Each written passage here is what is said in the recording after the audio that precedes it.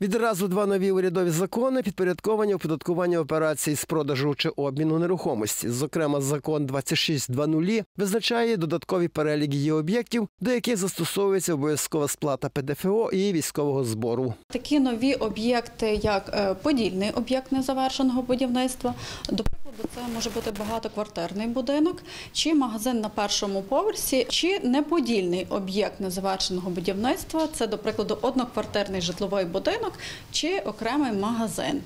Майбутній об'єкт нерухомості квартира або гаражний бокс. Для громадян доходом від продажу протягом року подільного чи неподільного об'єкта незавершеного будівництва буде вважатися різниця між ціною купівлі і ціною продажу. Ставка податку становитиме 18% ПДФО. При продажу е, таких об'єктів, е, е, якщо вони успадковані, ставка ПДФО становить 5%. До тих е, ставок, де є нарахування ПДФО, також е, нараховується всюди і військовий збір у розмірі 1,5%. А от інший закон 2518 визначає особливості цивільного обігу незавершеного будівництва і спрямований на гарантування речових прав нових власників на такі об'єкти.